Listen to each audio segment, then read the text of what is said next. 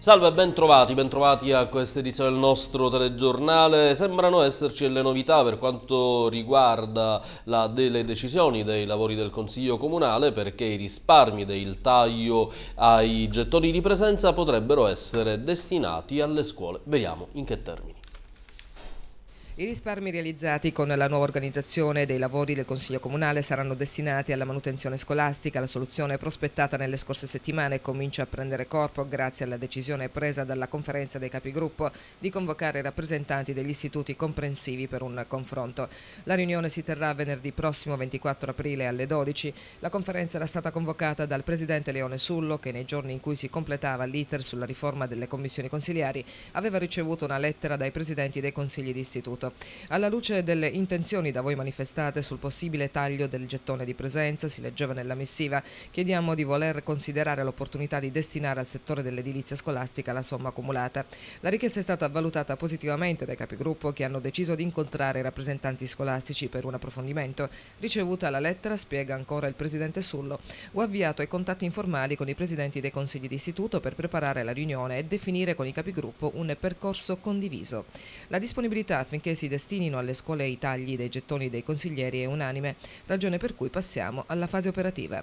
Incontrate le scuole sarà compito dei capogruppo, conclude ancora il Presidente Sullo, coinvolgere i consiglieri comunali per mettere a punto un atto di indirizzo che impegni l'amministrazione.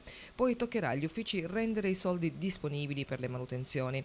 Porteremo avanti questo impegno nell'interesse dei nostri ragazzi che hanno il diritto di studiare in strutture dignitose e funzionali e per continuare a meritare la fiducia dei siracusani.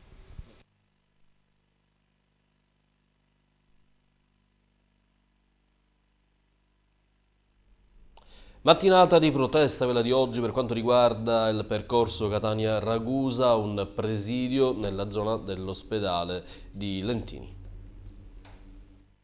Partito oggi il presidio all'altezza della rotonda nei pressi del nuovo ospedale di Lentini, poi l'assemblea nell'aula consigliare dello stesso comune. Durante il loro intervento i segretari generali di Feneal Will, Filca Cisle, Fillea CGL, Severina Corallo, Paolo Galle Domenico Bellinvia hanno detto basta a questa vicenda che si consuma sulla pelle dei lavoratori e soprattutto dei cittadini siciliani coinvolti. Non ci bastano le rassicurazioni affidate ai portavoce o ai messaggeri in missione, hanno fermato ancora. Il governo esca dall'equivoco e confermi senza alcun indugio il progetto per realizzare l'arteria stradale che collegherà Catania a Ragusa, coinvolgendo ben tre province del sud-est siciliano. Abbiamo sempre sostenuto, hanno aggiunto i tre segretari, che questo territorio può guardare al futuro soltanto attraverso le infrastrutture e una viabilità che garantisca collegamenti veloci e moderni. La Ragusa-Catania questo può garantire, chiediamo quindi al Governo di confermare il finanziamento. Si registra soltanto dopo cinque mesi dalla firma della convenzione, proseguono ancora i sindacati di categoria, la totale assenza di un solo atto che possa far pensare, se non all'apertura dei cantieri, almeno allo sblocco dell'iter esecutivo. Per tutto questo hanno concluso Corallo, Gallo e Bellinvia, chiediamo alla politica siciliana uno scatto d'orgoglio perché in tempi rapidissimi il governo nazionale definisca l'iter e individui il finanziamento di propria pertinenza. Vicenda Veleni alla procura di Siracusa, c'è una decisione del CSM che ha prosciolto da tutte le accuse il sostituto procuratore Roberto Campisi. Il procuratore Campisi non avrebbe commesso alcuna irregolarità per la vicenda relativa all'iscrizione al registro degli indagati due calciatori del Catania Calcio, per la quale finì sotto processo insieme al sostituto Musco. Infatti la commissione disciplinare ha prosciolto da tutte le accuse Roberto Campisi. Era una sentenza attesa al magistrato siracusano che ha sempre sostenuto la propria estraneità ai fatti che gli sono stati contestati. Campisi potrà adesso vantare il rientro a Catania e la poltrona di procuratore procuratore aggiunto vicario, vale a dire il vice del procuratore Giovanni Salvi, posto attualmente vacante. Roberto Campisi fu coinvolto nell'inchiesta coordinata alla Procura della Repubblica di Messina relativamente alla vicenda cosiddetta Veleni alla Procura di Siracusa. L'alto magistrato siracusano fu sospeso proprio a seguito di queste vicende e assegnato a titolo provvisorio alla Procura di Siracusa. Vinse sia il ricorso al Tar del Lazio sia quello successivo al Consiglio di Stato. La segnalazione del magistrato Scavo che ambiva alla stessa posizione poltrona del Palazzo Catanese costrinse l'ex procuratore capo della Repubblica ad ottenere un giudizio di ottemperanza che fu sospeso proprio per consentire di diradare ogni nuvola sul capo del magistrato. Non si tratta di un passaggio automatico, ma come accaduto per Maurizio Musco, anche per il procuratore Campisi si attende il provvedimento del CSM per la riassegnazione presso la Procura di Catania. Intanto è fissato per il 28 aprile la cronaca adesso è intervento dei carabinieri di Siracusa che in due occasioni arrestano quattro persone per rissa e nell'altro caso per furto. Tre cittadini dello Sri Lanka, da anni residenti a Siracusa, di età comprese tra i 41 e i 47 anni, tutti incensurati con regolari professioni di badante, cuoco e pasticcere, sono stati i protagonisti di una rissa nei pressi di Viale Regina Margherita. I tre, per futili motivi, hanno cominciato a picchiarsi violentemente in mezzo alla strada, zuffandosi sul marciapiede con calci e pugni, attirando l'attenzione di molti passanti. Tra questi anche un carabiniere in servizio presso la stazione di Ortigia che stava rientrando al comando. Il militare dell'arma è quindi sceso dal mezzo ed è intervenuto per separare i tre, richiedendo al contempo l'intervento dei colleghi. Supporto è stato dato anche dalla Polizia Municipale di Siracusa. Al termine delle formalità di rito, i tre sono stati sottoposti al regime degli arresti domiciliari. Nella circostanza hanno riportato 5 giorni di prognosi per una ferita al lacero contusa alla mano. A un altro soggetto coinvolto nella rissa sono stati riscontrati diversi traumi alla spalla e al ginocchio guaribili in 15 giorni. Illesa invece la terza persona coinvolta. I carabinieri della stazione di Priolo Gargallo hanno arrestato nella flagranza del reato di furto aggravato il catanese Salvatore Saltino, 44enne. L'uomo, insieme ad un'altra persona ancora in corso di identificazione, si è introdotto all'interno di una ditta di Priolo Gargallo in contrada Balordo ed ha trafugato la motrice di un camion Mercedes di ultima generazione, usata anche per uscire dalla ditta sfondando il cancello automatico di ingresso. Sono stati però scoperti dalla vigilanza privata che ha allertato i militari dell'arma. I presunti ladri sono quindi fuggiti, terminando la propria corsa contro un muretto divisorio in cemento armato presente al lato della carreggiata. Nella circostanza il complice è riuscito a fuggire per le campagne circostanti, facendo perdere le proprie tracce, mentre l'arrestato è stato rintracciato dai carabinieri. L'uomo non ha potuto proseguire la fuga a piedi poiché durante la corsa ha riportato una frattura al ginocchio destro.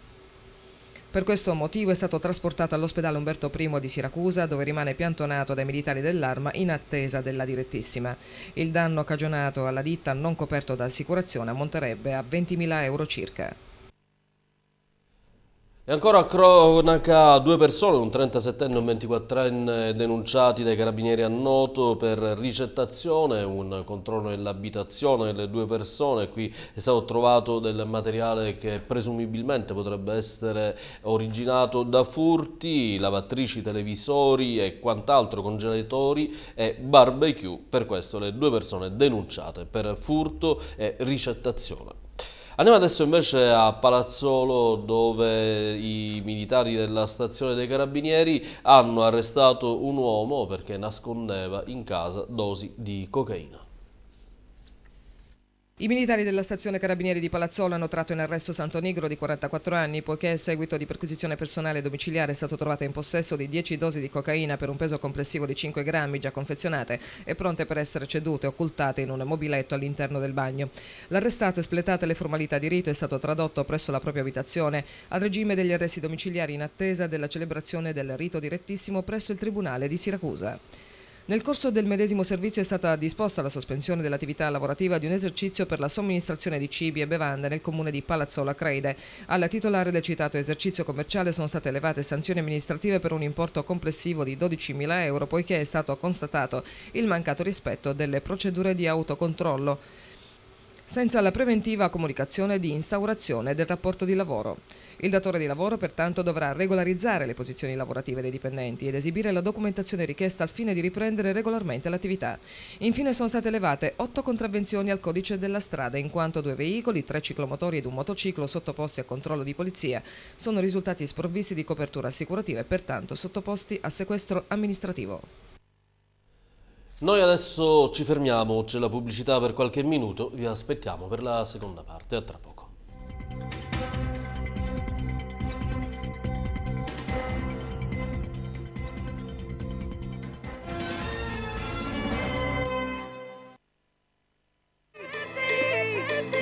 Entra nel mondo Gemar Da Gemar arrivano i sottoprezzi. Pasta di semola Poiatti da 1 kg a 75 centesimi, latte brio a 55 centesimi, galbanino 930 grammi 5,89 euro, mozzarella latterie riunite 100 grammi a 55 centesimi. Cerca il punto vendita più vicino a te.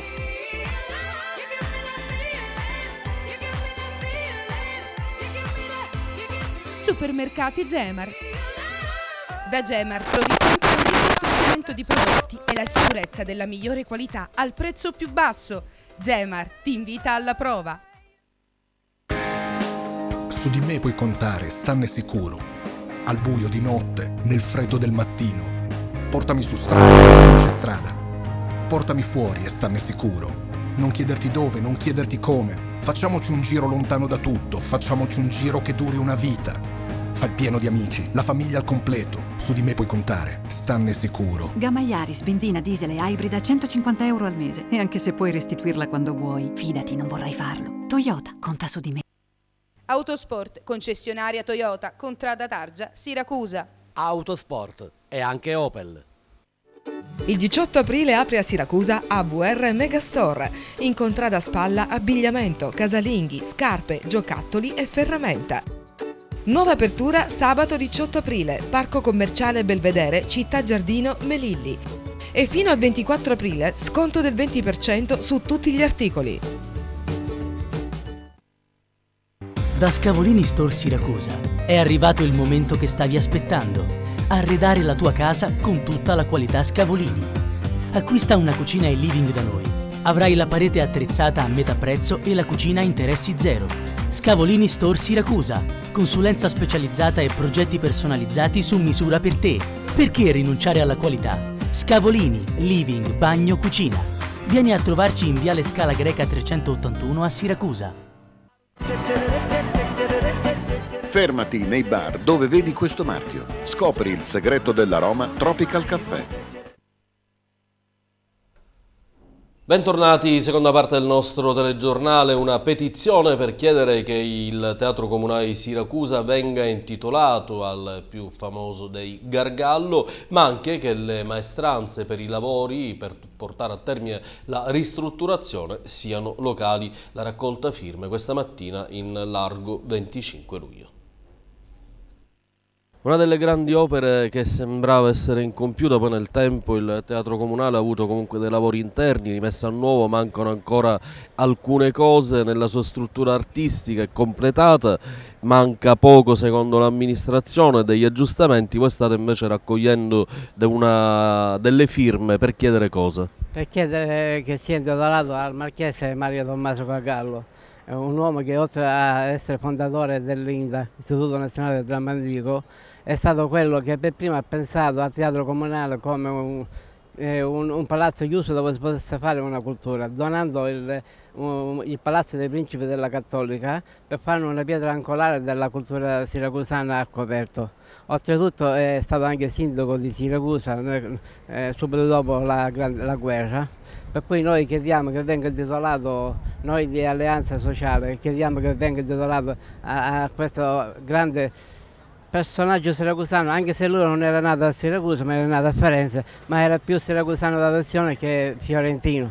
Per cui ad alta voce noi chiediamo che venga aperto il teatro comunale, perché il teatro comunale non è soltanto cultura, ma è anche economia, economia dell'indotto e parliamo non soltanto di attori, registi, compasse, ma soprattutto di alberghi, ristoranti, bar, pizzerie, di gente che lavora all'interno come elettricisti, muratori, eh, eh sarte, commesse, quindi c'è un indotto economico che va al di là dell'aspetto soltanto culturale della città di Siracusa.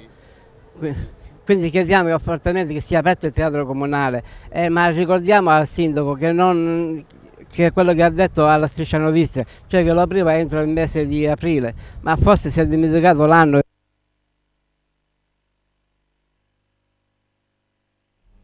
Parliamo adesso di un altro genere di teatro, parliamo di teatro comico, di teatro dialettale, il senso dello spettacolo Amore rusticano, diretto da Enzo Firullo, che noi abbiamo ascoltato.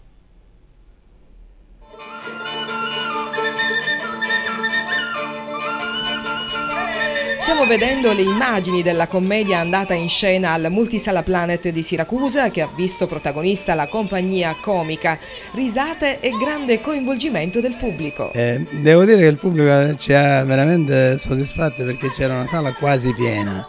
E, ehm, e, quindi siamo molto soddisfatti, lo spettacolo è stato apprezzatissimo a quanto pare perché sono arrivate notizie da tutte le parti di, eh, veramente di apprezzamento.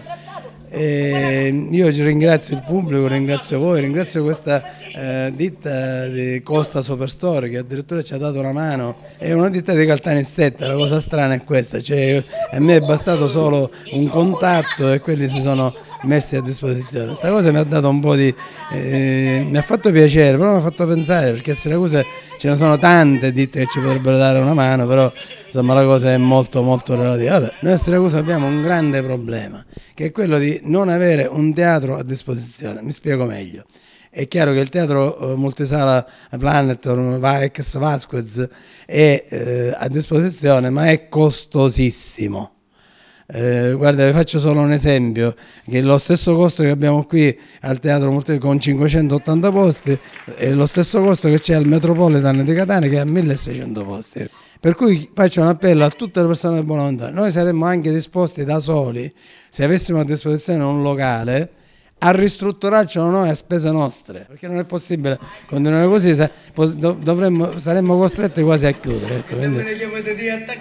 Ma Cizzutano, non ne faccio queste cose, io sono una femmina onesta. Ma che segno sto onesta io? No, non è pindiri. Ma niente, Cizzutano, poi quando ne rugno 100. È vero, almeno uno, ore 99. Ma non ne meritiamo, è più bello, rugno 100, quando ne meritiamo, quando ne meritiamo, quando ne meritiamo. Primo congresso provinciale, la categoria dei periti assicurativi di Siracusa, a partire da oggi alle 15.30 all'auditorium del centro servizi nella zona artigianale di Floridia. Parliamo adesso di sport, la pallanuoto ormai a Siracusa è una tradizione sportiva consolidata, sono due le squadre di punta in altissima serie, in A1 a livello nazionale, ma la pallanuoto è anche scuola di correttezza, come spiega l'Olimpionico Calcaterra oggi a Siracusa. La pallanuoto come scuola di vita e insegnamento di correttezza e sportività, la piscina di Siracusa, vivaio di campioni con due squadre ai massimi livelli nazionali, ne abbiamo parlato con un esperto e campione. Se la pallanuoto fosse un grande, lo è, un grande corpo sportivo, no? steso su tutta la penisola, la testa, si può dire che sia anche qui a Siracusa con delle squadre importanti, qual è lo stato della pallanuoto, sintetizzando? A livello giovanile direi che in Sicilia lo stato è, è ottimo perché questo è mia, il mio terzo arrivo qua in Sicilia, sono stato due volte a Catania, una volta a Siracusa e l'affluenza di ragazzi è enorme, quindi per quello che sto facendo io, quindi sono molto, molto contento. Poi qui a Siracusa c'è una tradizione storica, c'è una nuova tradizione che è il Sette Scogli, c'è l'Ortigia, quindi ci sono tanti ragazzi che arrivano da, da, da vicino, quindi direi, direi che a livello giovanile è ottima. Poi adesso non conosco più a livello di, di prime squadre, però sicuramente ecco, oggi c'è il derby importante, quindi diciamo che in Sicilia la pallanuoto è sempre stata seguita. Un esperto, un campione, comunque credo la prima cosa che noti è che in una realtà importante come quella di Siracusa, in una piscina del genere, manchi magari una copertura. A questo non, non, non, so dirvelo perché comunque non si tratta di piscina del nord, quindi qua c'è sempre stato un clima ottimo, la piscina è sempre stata scoperta, quindi io mi ricordo, ho giocato per, da quando avevo 12 anni, eh, ho fatto una marea di partite in questa piscina, l'ho sempre fatta all'aperto e mai avuto problemi anche l'inverno, quindi sì, sicuramente se ci fosse un impianto coperto eh, sarebbe meglio, ma comunque questo è un impianto splendido, quindi si può sopperire anche tenendolo all'aperto. Bene è tutto, il telegiornale si conclude così, vi auguriamo un buon proseguimento di programmi.